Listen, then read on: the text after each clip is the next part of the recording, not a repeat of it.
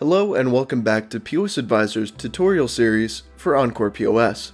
Today I'll be showing you how to create an inventory valuation report. This gives you an opportunity to use historical information archived by Liquor POS to show you three different types of inventory valuations. LIFO, last in, first out, FIFO, first in, first out, and Liquor POS's very own average cost. If you'd like to familiarize yourself with any of these terms, there will be links in the description of this video to useful resources. There are two ways to run the report. First, you can use the archive files Liquor POS creates automatically at the beginning of every month. This way you can create a report on your inventory position from a specific point of time since you began using Liquor POS. The second method is to use the inventory snapshot utility in Encore POS to create a file using your current inventory position. The perfect time to do this is upon completion of a full physical inventory, as it means that you'll always be able to go back and run a report against those numbers. I'll go over this method first. Starting from the Encore POS login screen, log on to the Encore POS dashboard. Click the Utilities tab, scroll over the inventory tile, and click on the Archive Inventory Snapshot utility.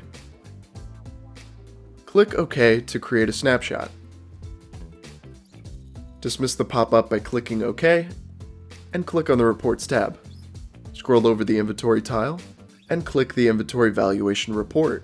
Once you land on this screen, you can choose which files you'd like to use for the report by using these drop-down menus. Archive files are the ones created automatically by Liquor POS, and snapshot files are manually created in the process I just showed you in Encore POS. When you're ready, click Submit to run the report. If you run the report with differing dates, these two columns here, Cost and Extended, or EXT, reflect your inventory's valuation based on your ending costs for the FIFO method. The last two columns here, Start Cost and Extended, reflect your inventory starting costs for the LIFO method. You'll notice that if the start date and the end date are the same, these two pairs of columns will be identical. This is your average cost. As with other reports in Encore POS, you can use the page options at the bottom of the table and the search bar to find specific items. Type totals into the search bar to view valuations by department instead of by item. If you'd like to use the table for bookkeeping purposes, click here to export it to an Excel file, or click here to send it directly to a printer. Click the X at the top here to return to the Reports tab. That's it for this video today. Be sure to subscribe to keep up with the latest and greatest from POS Advisors. We'll have our website link and our support number all in the description down below, so don't hesitate to call us if you need us. Thank you so much for watching. Have a great day.